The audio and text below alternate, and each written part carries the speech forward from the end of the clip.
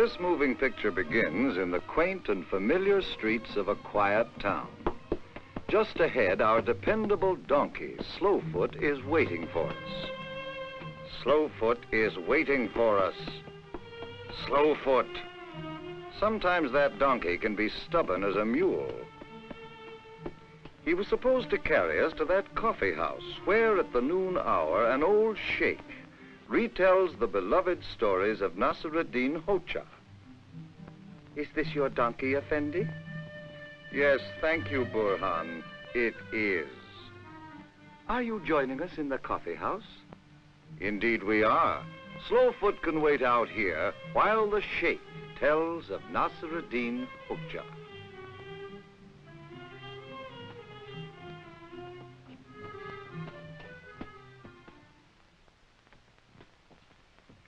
Have a letter from my cousin Effendi.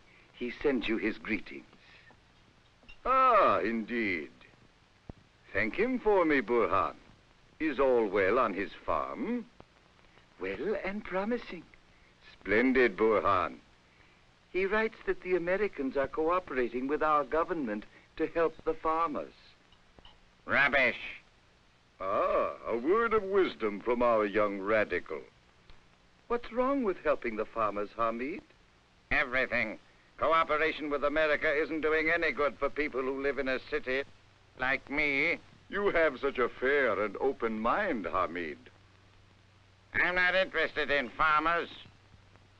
More production at less cost by farmers means more food at lower prices in the city markets, right? Any fool knows that. Ah, but do you?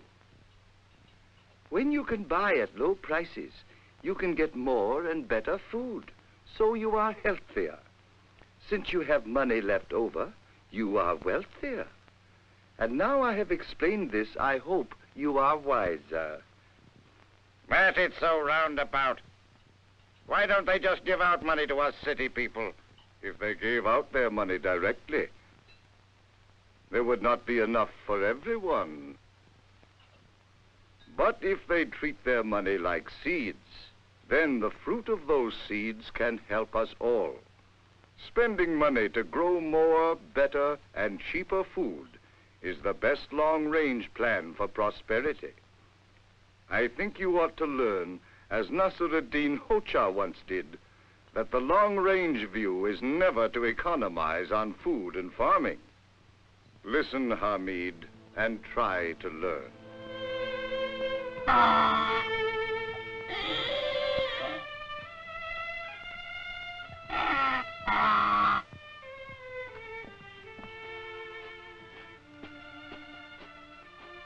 Now, it once happened in the time of Nasreddin Hoja that a year of famine and hardship fell upon the land. There was little food and less money, and every villager was wondering how he could help to solve the problem.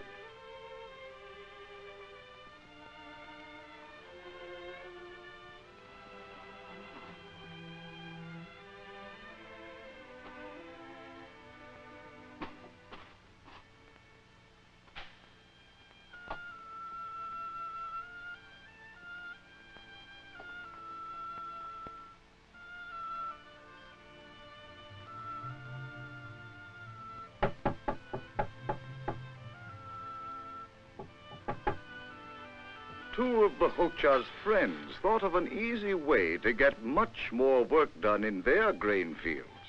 All they needed was to borrow the Hoja's donkey. But this idea didn't appeal to the Hoja at all. No, not today. My donkey is not here.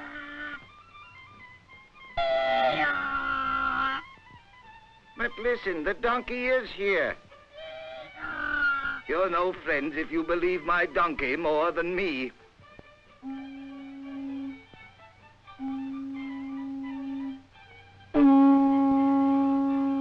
In the middle of their argument, the Hoja and his friends were interrupted by the calling of a village meeting, where the ways and means of solving the problems of hard times were to be discussed.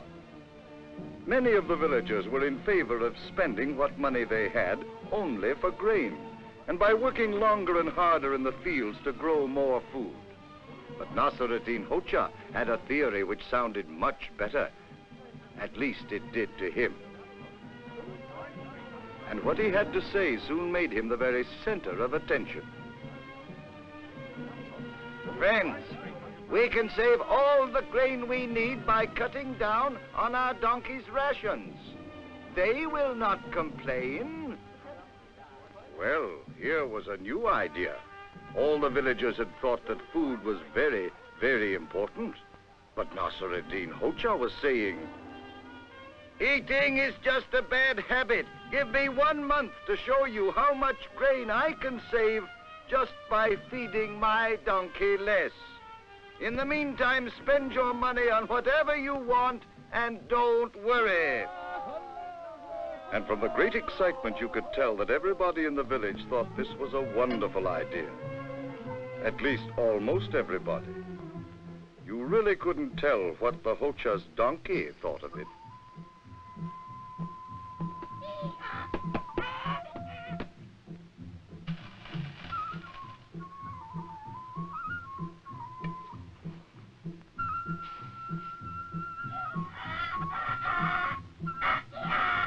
And so through the following days and weeks, Nasreddin Hoja filled his measure with grain, put half of each scoopful into an empty jug and gave the rest to his donkey.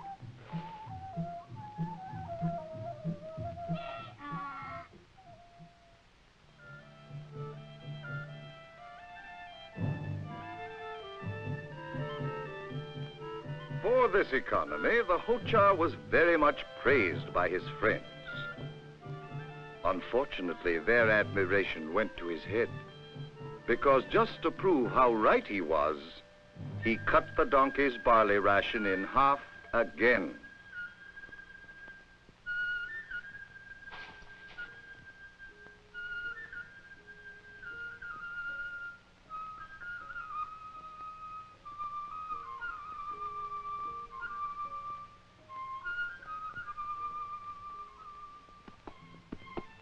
Near the end of the trial month, the whole village was buzzing about how easy it was to save grain without depriving yourself of anything. After all, donkeys don't complain. And just to show what a perfect way this was to economize, on the day before he was to face the villagers, the Hoja cut his donkey's barley ration in half once more.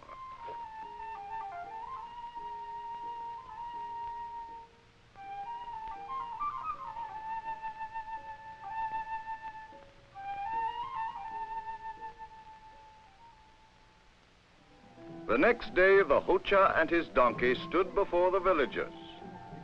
Look, my friends, all this grain I saved in just one month by cutting down the donkey's barley ration. You see what a bad habit eating can be? Now spend your money on what you want and stop worrying about food.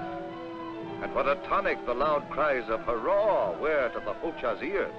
He basked in their generous admiration and glowed with self-satisfaction. But alas, those same cheers meant little to the donkey, because he had dropped dead of starvation.